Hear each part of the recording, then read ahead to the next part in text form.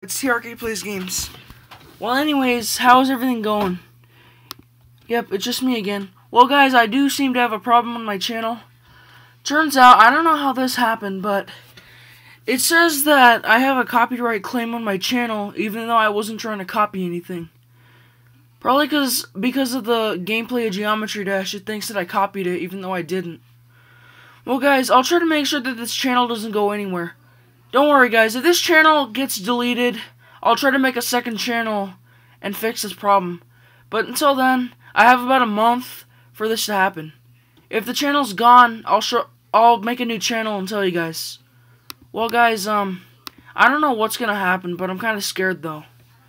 I mean, yeah, I get it. I don't know why this happened. But if any good news happened, I'll tell you. If bad news happened, then I'll tell you, uh, too. But for now, I don't know what's going to happen. Well, see you guys later.